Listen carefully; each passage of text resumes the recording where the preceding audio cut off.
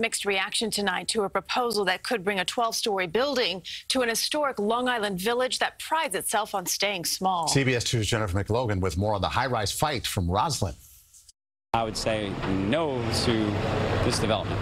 Opinions are flying on Long Island's North Shore. I think it's a great option to bring more housing in. Historic Roslyn settled 1633, where landmark status and preservation are honored, says village trustee Craig Westergaard. We have uh, five historic districts in the uh, in the community, and the building that we're standing in front of is, is what we're most proud of, which is the grist mill. Across from the grist mill, the venerable clock tower. This landmark could soon be dwarfed if some developers get the okay to build a 12-story high-rise right here overlooking Roslyn Creek on Lumber Road.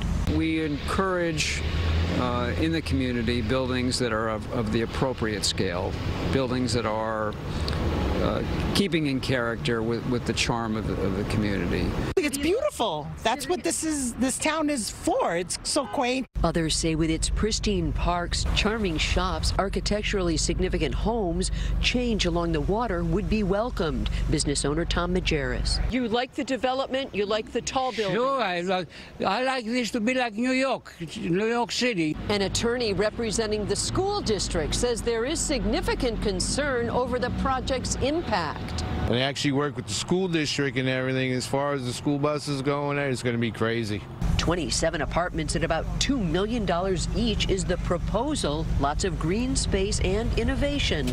A public hearing is scheduled next month. From Roslyn, Long Island, Jennifer McLogan, CBS 2 News. And proponents of the high rise say there would be minimal effect on the Roslyn School District.